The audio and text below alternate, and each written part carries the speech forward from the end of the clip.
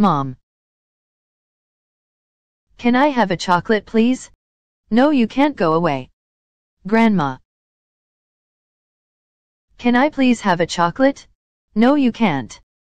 Joking you can have as many as you like. Mom. Stop watching YouTube go read books. Grandma. What are you doing? I'm making a Gacha video. I don't know what that means but you're doing great honey, mom.